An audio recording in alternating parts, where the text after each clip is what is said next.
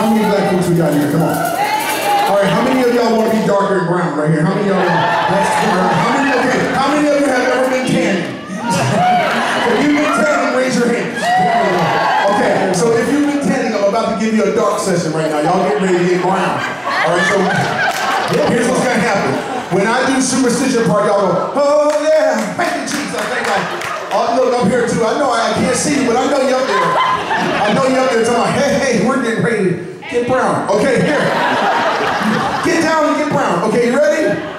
I go, superstition.